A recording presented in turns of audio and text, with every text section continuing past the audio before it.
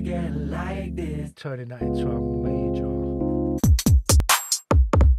I know you wanna get like. Transposing a lot of these notes. I know you wanna get. Now, can you hear the definition of each sound? Chords that I've used are the same and I've copied them twice. So you're getting all of this lower end build up. I ain't tryna wait till the whole night finish. We could be a man in like 15 minutes. I was on tour like 15. It's a nice little soundscape. Let's just add a few group channels here I know you wanna get like this. and do like a little double hit. I know you wanna. I'm not preaching to any of you watching this. This is the way to do it. I'm just showing you the way I do it. Breathing in and out, and I've been about, yeah, you feel the feeling.